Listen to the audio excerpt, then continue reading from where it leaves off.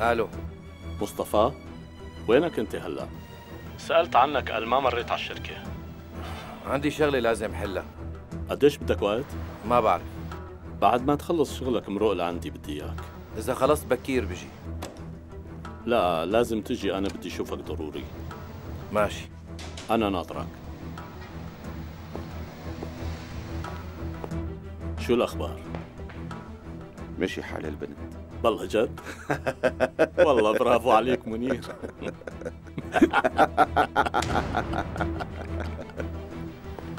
مصطفى استنى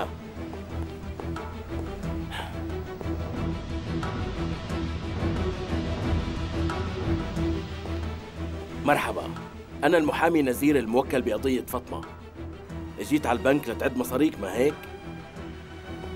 أكيد زاد حسابك بعد الإفادة اللي قدمتها للقاضي. شو قصدك ها؟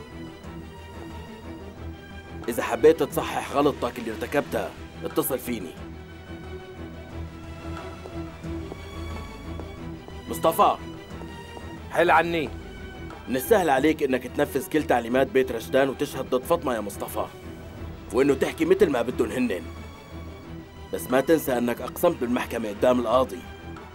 لا تقول إنه سهل عليك كمان إنه تصدق حلفانك. سهل عليك تصدق حالك وأنت عم تطلع بعيونها لفاطمة؟ عندك الشجاعه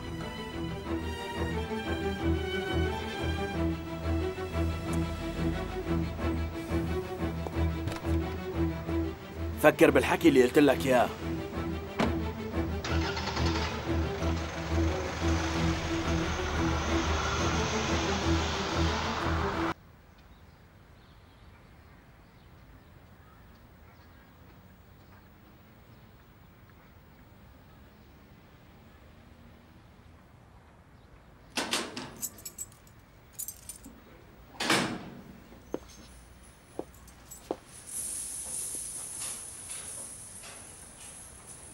شو هي؟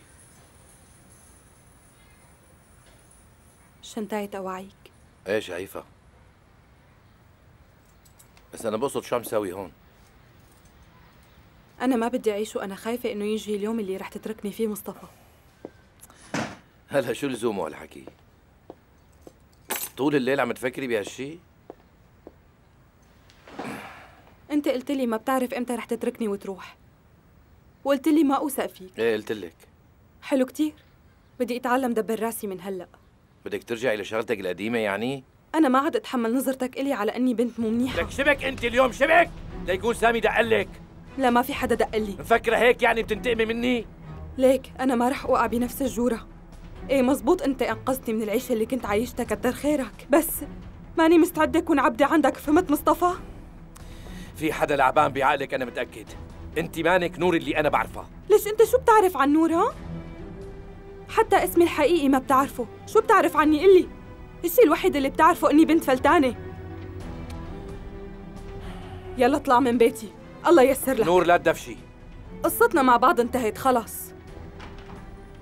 كل واحد يروح من طريق. رح تندمي على هالحكي. بس وقتها مستحيل إني أرجع لعندك. الله معك.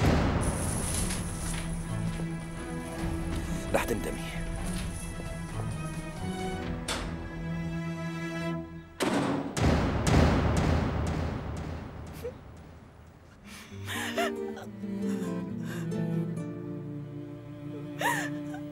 Ha ha ha!